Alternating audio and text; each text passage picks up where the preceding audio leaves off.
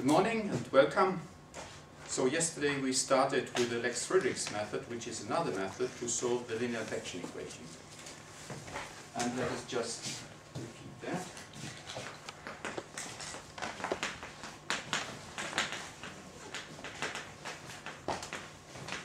So the method is named after Peter Lax, who got the Abel Prize some years ago, and Friedrichs, who was a co-worker of Courant. In the, is the F in the CFL condition. So the method was the following. We take the value at a new time level minus, we have the time derivative, we take the average of the values at uj plus 1n and uj minus 1n. So that is then, usually we had the uj. So this is the special trick with this method, that they take this average instead. And then the spatial discretization is just done by a, a centered difference. So we have uj plus 1n minus uj minus 1n divided by 2 delta x is equal to 0. We discussed uh, how we can treat the boundary conditions. One is given, that is the inflow from where the flow is coming. If it's coming from the left, it's at the left boundary. And then, in that case, at the right boundary, we could use the explicit upwind. Now we want to write this in the form as we would uh, code it. So that can be written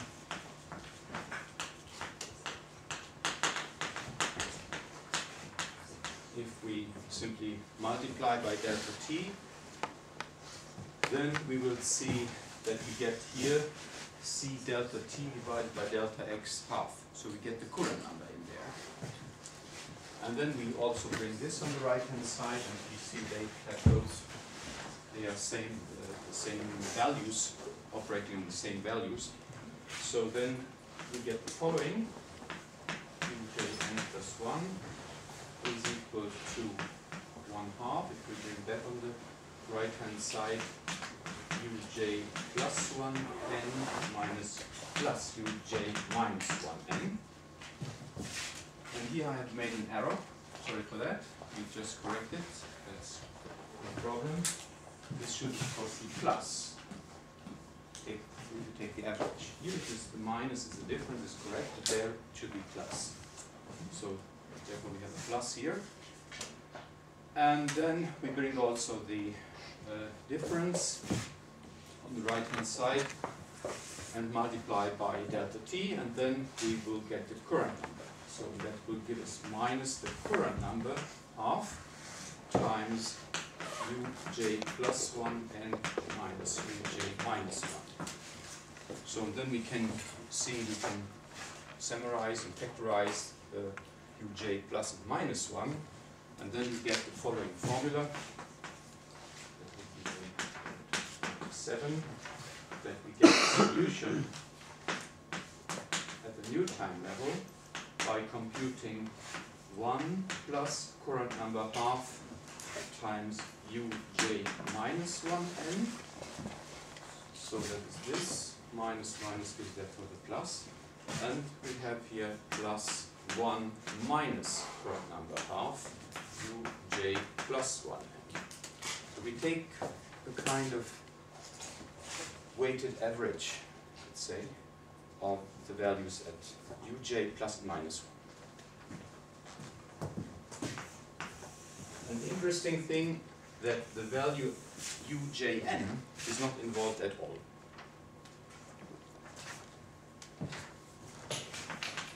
And you can show as an exercise that truncation error of this is of the order delta t and, which is interesting, delta x squared over delta t. So that is an exercise. And this term is dangerous. We have seen that already in the DuFort-Frankel method that you had as an exercise when we discussed the heat equation. So that can lead to inconsistency. For example, if we would choose delta t proportional to delta x squared, this term would not go. We would get, we would then solve not the correct equation, because then the truncation error would not go to zero, as it should be. So we have to choose then, for example, that is the usual choice, delta t proportional to delta x, which is natural if we choose a, a constant Courant number.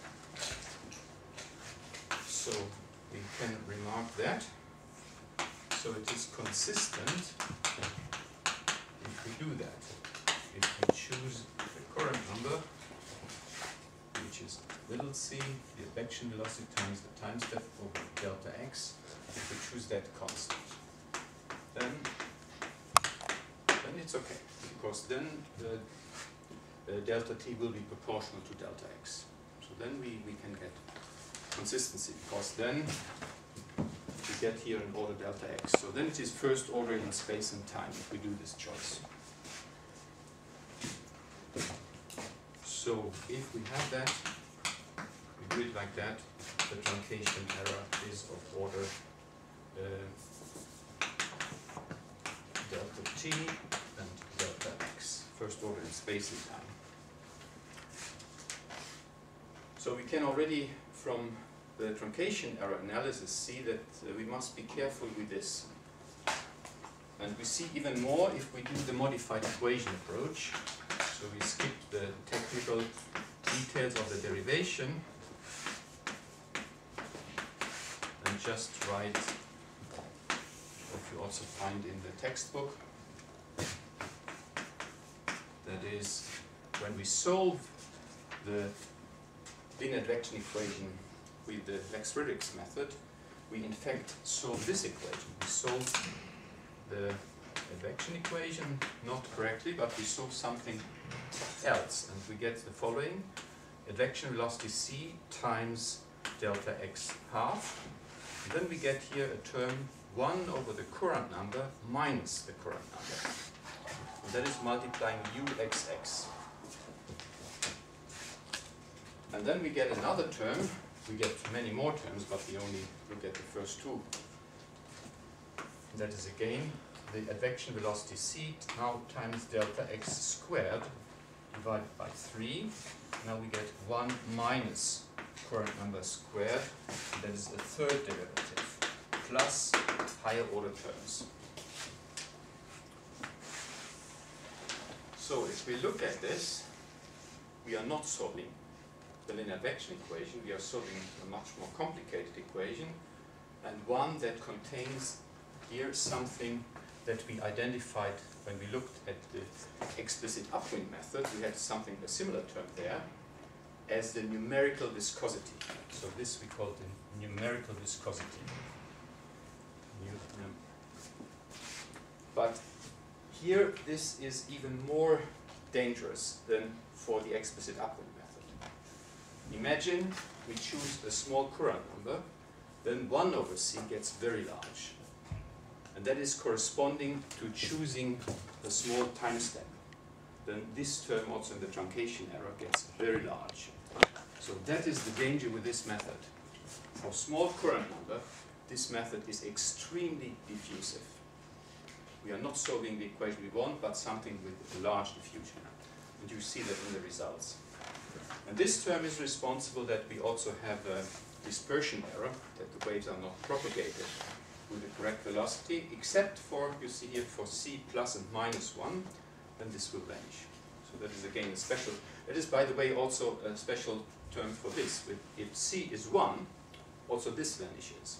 And we can show that for c plus and minus 1, actually the method is exact, like the explicit upwind method. So that's a good thing. But apart from that, the method is very diffusive, especially for low Courant numbers.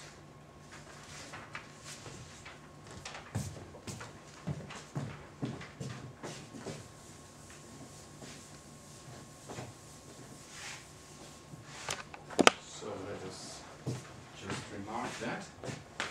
So both the truncation error and also the numerical numerical viscosity or large for small Courant number or small time steps. The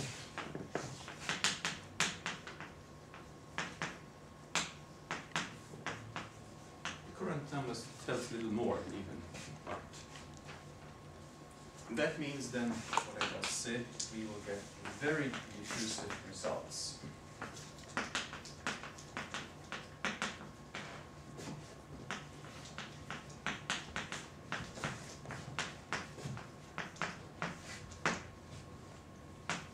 That is something one would not expect. We have a small Courant number, that would mean that we have a small time step, we would usually expect that we have a good resolution in time, and uh, but it is not so.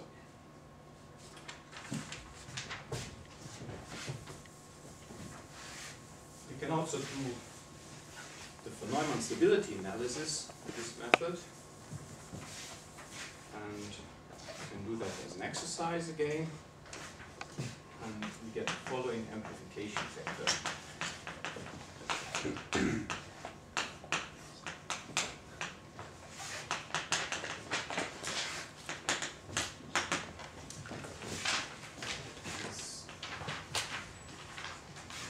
following. We write it again with the beta, where beta is k delta x. And we get the following, we get cosine of beta minus i times the Courant number sine of beta. Okay, beta is k delta x. So and from that we could do then the analysis that we did for the um, explicit upwind method. And I think I also showed it for the implicit upwind method. And we get something of the following.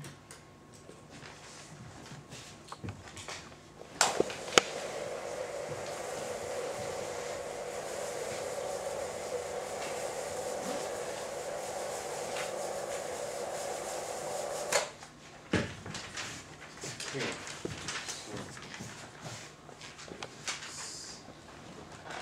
first, so that is the um, modulus of the amplification factor. It tells us about the dissipation error. And for one, Courant number one, it's exact. So again, remember the meaning.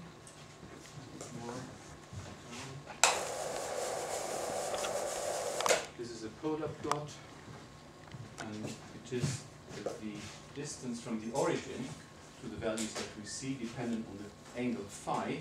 Gives us then the value of this amplification factor, g of beta. So beta is going from, from 0 to pi. Then we see we are good on this side, and good on this side, but in between we have very large damping. And you see here this is for 0.25 and it goes even more down as we get smaller and smaller in the Courant number. So that is this one. And that was the indication for the uh, dissipation error. So that is now the phase angle relative to the exact phase angle. And again, we read it now, we should read it from here. So it is this distance here. It should be, this is correct for c equal 1. You see if we choose any Courant number lower, we have to do because of stability, we'll note that in a minute, you see we get very large uh, uh, dispersion errors.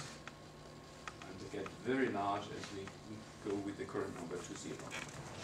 So that is, these are clearly disadvantages of the method. But as we go closer to one, so that for we get closer to the solution, where the method is exact, we can get reasonable results. Okay, so let us now note what I just said, that the method is uh, stable for Courant number smaller than 1. So we can also show that from this. If we look at, we compute the modulus of that, we can almost see it. We get cos, cosine squared, so the modulus squared, cosine of beta squared plus c squared sine squared. And then we can easily show that the absolute value of c must be smaller equal 1 for that to be smaller than 1. So the method is stable for absolute value of the Courant number smaller equal than 1. So that is what we can get also from the stability analysis. So the conclusions for this method, or maybe we can look at a result or results to give you also an impression. This is looking at the a way of identifying dissipation and dispersion errors, but we can also look at um, uh, some results. Let's see. Prepared two of them. So let's take maybe the sine first. So we want to propagate the, just the sinus distribution, just with a constant velocity, in that case to the right. And so we let it go, and you see the amplitude goes down, it is dissipated. So that is, that we see here clearly the dissipation error, and in that case, the Courant number was equal to 0 0.5. Zero, yes. And um, you see it should be here, but this is all dissipated. We can get it better if we increase the, the Courant number. So that is a typical sign of the strong dissipation error that we see here. So let's look for the other example, that's a discontinuity. That is the following. So we have um, now a distribution where we have here between 0.2 and 0.4 we have just uh, 1 here and otherwise it's 0. So it's a distribution that is discontinuous and that should be now be transported just um, for a time 0.4 and the advection speed is 1 so it should travel c times t should travel 0.4 in distance so in the end it should be the right boundary of the discontinuity should be 0.8, the left one should be at 0.6. So let's see what, what happens. It's this what is happening. So we get uh, some strange results, um, some looking like oscillations, and it is very much spread, this uh, discontinuity. And this is also some sign of this method. It has these uh, kinks there, which are close to each other. And that is because it does not have this uj in the middle, so it doesn't couple properly. But uh, it does not explode, and it does not uh, give um, um, too big oscillations. They get lower if we reduce, if we increase the Courant number. Then the method gets better. So this is then a sign both of the, the dissipation error and also that the waves, imagine to represent a discontinuity in the Fourier space, we need infinitely many Fourier modes. And they are all transported, especially the, the ones that see in the, the large, with the large wave numbers, they are transported completely wrong. And then we see also that we get here this effect on both sides. So that are disadvantages of the method, but why is it nevertheless interesting? It is so simple. And when we get to more complex problems for conservation laws, it is always a choice to try that, but one has always be too aware of the limitations. So when you choose it, try to choose it with a large Courant number, the largest possible, that is 1. So then, then it's okay. But otherwise it's not good at all. So let us just summarize these features that we saw, both in the analysis of the amplification factor regarding dissipation and dispersion error, and from these two examples for a smooth function, a sinus wave, and for a this uh, um, discontinuous example. So the conclusions are that we have a very large dissipation error with this Jaques-Krügik's method for the Courant number zero. And that we also have a large, and it is what we saw uh, for the large wave numbers, the for the phase error, the so-called leading phase error. So it is going too fast, it's propagating waves too fast. So that's the dispersion error. And also for the current under to zero. But the good thing is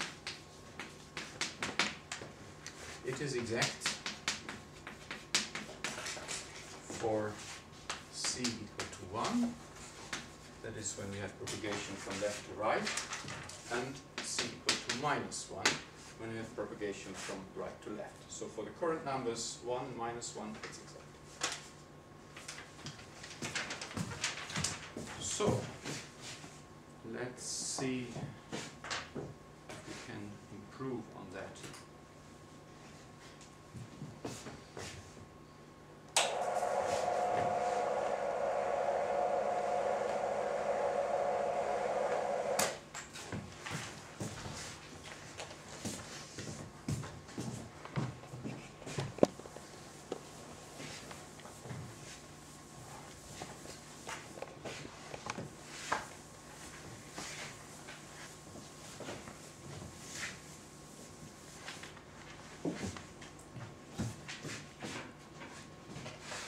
So the method that does generally uh, a better job than the Lax-Friedrichs method is the following. This is the Lax-Wendroff.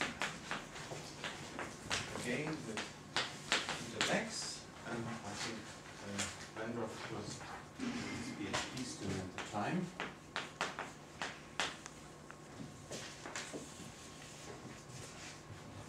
And that is derived and that is interesting in itself, which you can use, which one can use also in other contexts, by Taylor expansion.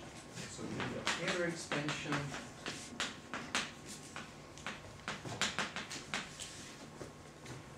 Um, of the exact solution.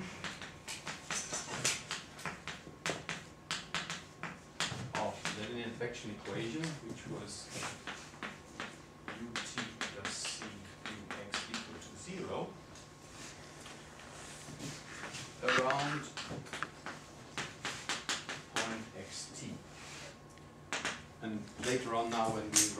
Taylor expansion this will simply be skipped.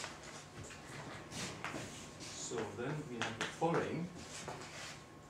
Look then at the solution at the point x and t plus delta. So we want to see what is the solution at the new time. And then we do the expansion around xt. And we skip writing uh, now u of xt and so on. So then we know how to do this Taylor expansion. We get the delta t ut plus delta t squared half, second time derivative plus order delta t to the power 3. So that is something that we know already from the, the truncation error analysis that we have been doing for many schemes. Now the trick is to use the PDE to replace the time derivative in this Taylor expansion. So we are now using uh, uh, equation 1 that is our linear advection equation, and then we get that ut is equal, you see here, ut is equal minus cux. So that is the first thing. So we can replace then this ut by minus cux. And not only that, but we can also do the following. We can look what is utt to get that here replaced. Again, we use the like that. We use the exact uh, that U is an exact solution according to our assumption of the linear advection equation, and we can again replace ut by minus ucux. We get a time derivative of that. And that we can write because uh, this is just linear, and uxt, if this is a smooth function, we can interchange the derivative order, and we get a minus c ut x. Then we can do it again like that. And we can use the exact solution that you use the exact solution, we can use that again. Again, we replace ut by minus cux. We do that, we get here minus cux, so we get altogether c squared, so that is again with equation 1, and we get here then the uxx. So that is the trick here. We, by that, we can then replace the second time derivative by c squared times the second space derivative. So from that we get the following. Two, that we can then express the exact solution at point x and time t plus delta t by u. And then we get here then the minus cux, so we get minus c delta t ux.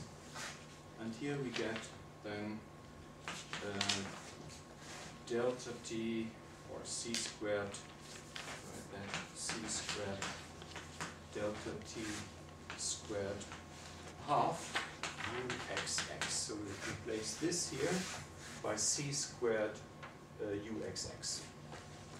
And then we have still an error term of delta t to the power 3.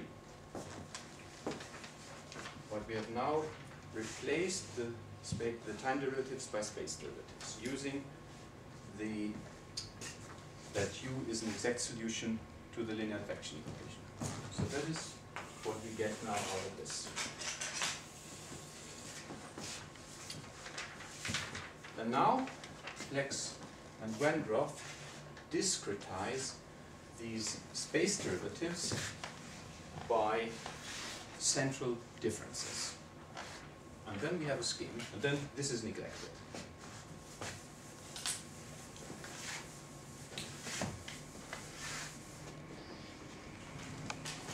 So let's do that.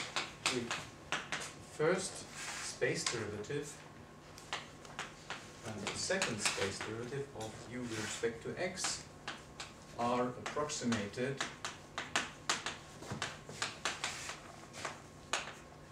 by second order, that is what we have been discussing,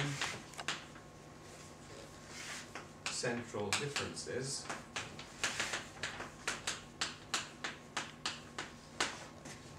We get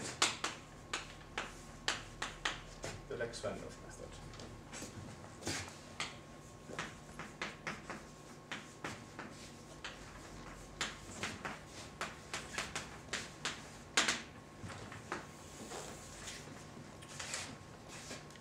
Then the following. Now we go to the discretization, and then this will be it will be done the grid point xj. This will be the time level tn, so this will be then the time level uh, n plus 1. So that means we will then have uj n plus 1 is equal to, and on the right hand side we are then on um, at xj and tn. And then we get this here. Central difference there will be, first we write the c delta t, and the central difference that will give us a 2 delta x to the denominator. So this will uj plus 1n minus uj minus 1n, because we are assuming that these ux, also this, are at a time level tn. And then we have also the uh, the other term here that is then discretized by, as we have done usually for the heat equation, classical discretization of the second derivative, so we get then the c squared delta t squared divided by 2 delta x squared, and then here we get the uj plus 1 n minus the 2 ujn plus the uj minus 1 n. So that is the way we discretize the second derivative, this divided by delta x squared, which we have here.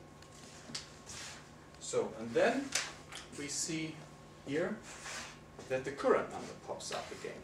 Two places. Here we have the Courant number, and here we have the Courant number squared. So then we can write this method in the following way.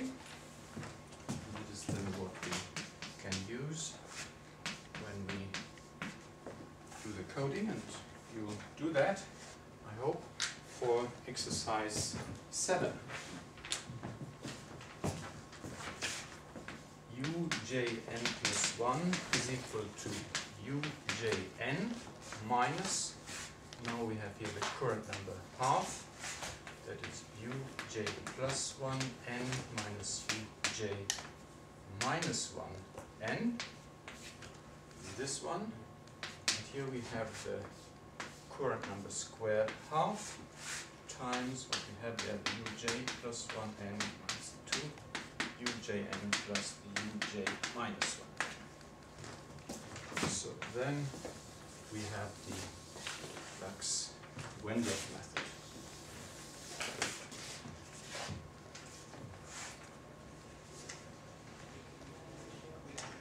And uh, already noted C is the Courant number.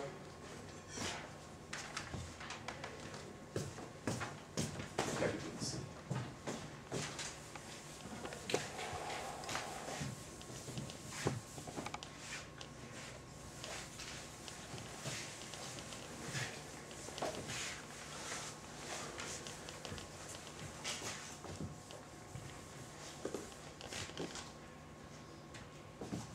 So now we can think what will be the order, the truncation error, what will be the order of the method. Remember, the derivation was starting doing Taylor expansion up to order 3. But that was for u itself. If we divide by delta t, then it is only second order. So we have a, we'll have a second order in time. And the discretizations that we did for ux, we have it here, and for uxx that we have here, are both second order. So the method is second order in time and space. You can also show that just by uh, Taylor, uh, by a truncation error analysis. So that is just note that. Truncation error is of order delta t squared and delta x squared. So that means it is second order, both in space and time. Second order space and time. That is now something that we have now here, that is uh, that we get an explicit method that has this, these features. So that is really good.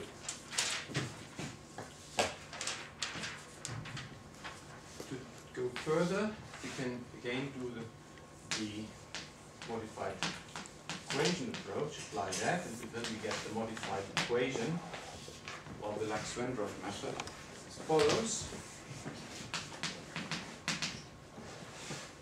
Get that ut plus cux is not really solved by the Lax-Wendroff method, but we solve the equation that has on the right-hand side the minus c delta x squared 6 divided by yeah, times 1 minus c squared times the third derivative, so this is a second order term.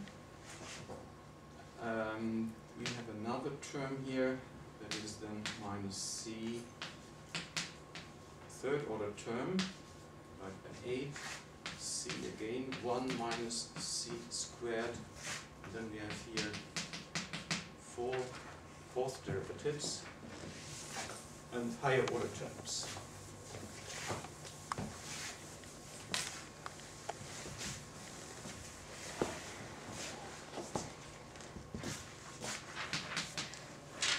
Order delta x to the power 4 and, and so on. If we would do that, anything like that.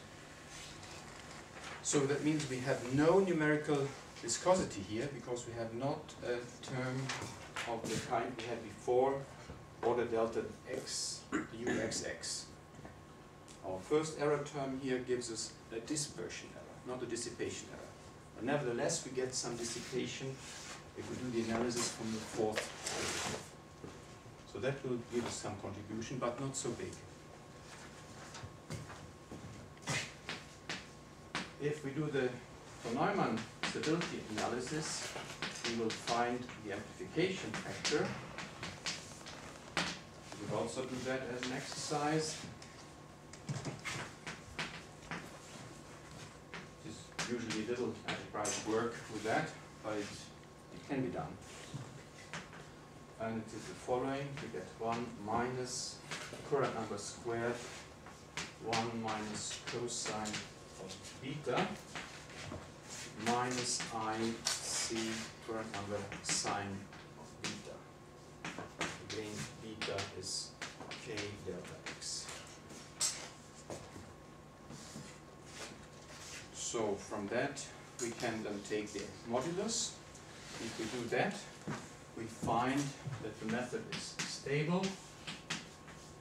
So the modulus of the amplification factor is smaller equal 1 for the absolute value of the Courant number smaller equal than 1. So that's the same as we had also seen for the Lax uh, Friedrichs method.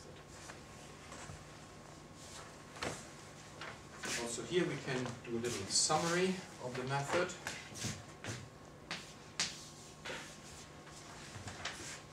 And we can note that it has a fairly well, maybe I should show you that before I write it. Let's see.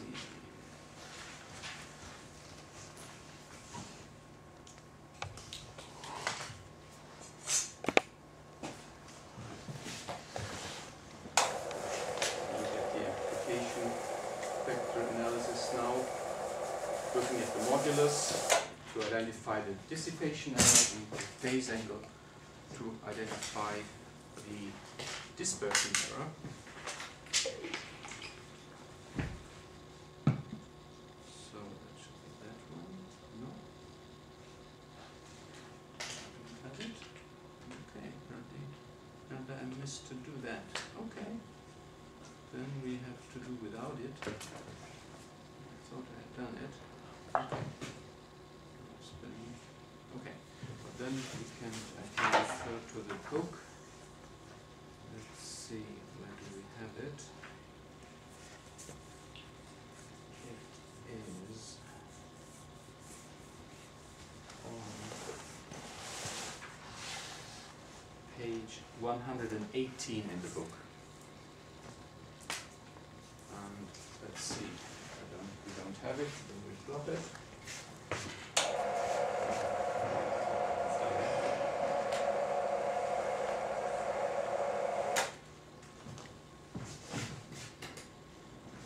So, what we see there is the following. So we have these plots, these polar plots. And here we have the, the zero. And for uh, Courant number one, we have the distance here is one. So the angle is, that is the angle phi. Let's see, in our case, it is, the angle is of course beta in our case. The angle beta. And so that is for, we can that is for Courant number one. If we take uh, the smaller Courant numbers, let's see. I have to check this here. There is um, five. I have to see the pattern.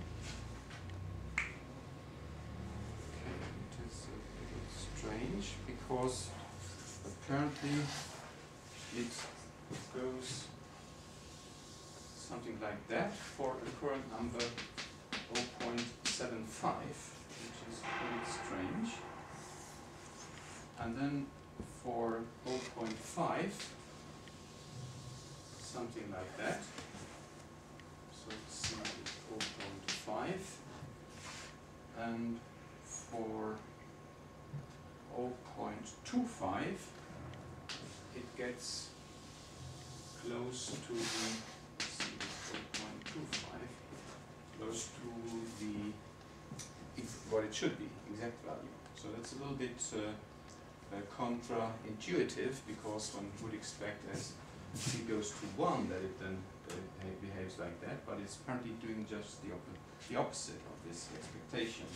So that is what we see here, the modulus of g of beta, giving us then the indication of the um, dissipation error.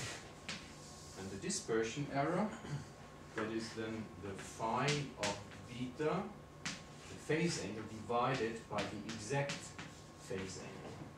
Again, we have here 0, and 1, and 1. Again, we have beta in this direction. And for c equal 1, we get again the exact one. And let's see, and now it is apparently just the other way round. So we start to get already very quickly to phase the results for C equals 0.5, 0.25, and um, 0.5 is not much better.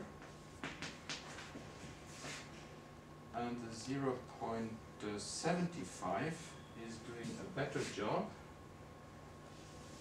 but it it goes somewhere a little bit off here, so it is 0.75.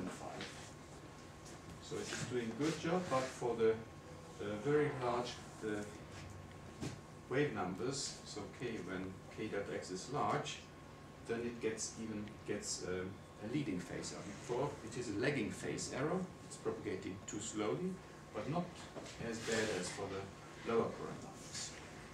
So we definitely get a phase error with the method. But they are by far lower than for the Lex Predix method. Remember there we had a leading phase error which was going like this for the Courant number of 0.25. So, therefore we can say we have fairly low dissipation errors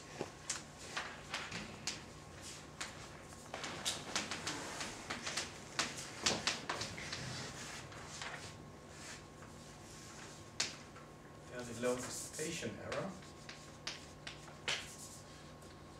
And we have a lagging phase error. The phase, the our waves with the are not they're transported too slowly. The lagging phase error. Except for um, Courant numbers square root of 0.5, it's about 0.7 in this range here. And then it is only, as we see, for 0.75 for the very large wave numbers. And the good thing with this method is it is second order in space and time.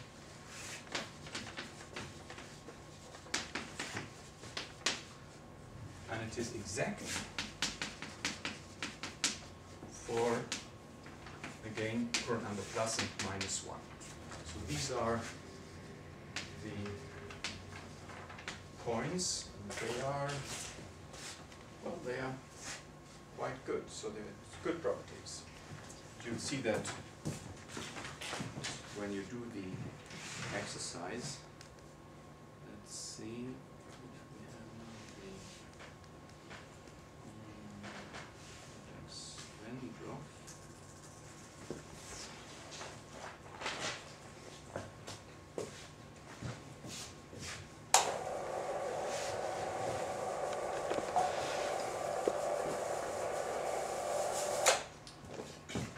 So, let's see. So, now the sine transported. Should be transported over a time of 2, so it should travel a distance of 2 to the right. So that is fairly good. Remember, the next, um, that is for Courant number 0.5. And For the same Courant number, the Lax uh, Friedrichs method essentially damped, there's little left of the amplitude. So here it is quite good, but what you see here, that uh, the wave is transported too slowly. So we have here, we, we are here in the region where we have a lagging phase error. That is what we have here, lagging phase error. We are not in a, in the Courant regime where we might have a leading phase error. So it's it's propagated too slowly. You see that here. The exact is the red one and the numerical one is behind. So for these problems it is doing a good job and you'll see, you can also show that when you do the analysis that you will see a second order for this smooth solution. If we take another example for the discontinuous, you will see the limitations of the method. So we have it here. Again, the same problem. We have zero except uh, between 0.2 and 0.4 we have 1. So it's a discontinuous initial condition that should be propagated a distance 0.4 to the right in the time 0.4. So we see we get oscillations and we get an overshoot here, so we get a smearing here and we get oscillations here. So those are the disadvantages of the uh, Lex Windroff method when applied to discontinuous problems. Then we get oscillations. And so we get here an overshoot, it's getting too large, and here it's getting too low. So we'll see the, when we come next week looking at nonlinear equations, the inviscid Burgers equation, we'll see methods where we can avoid these uh, overshoots but it's it's doing a fairly good job. Okay, so let's stop here and take a 15 minutes break.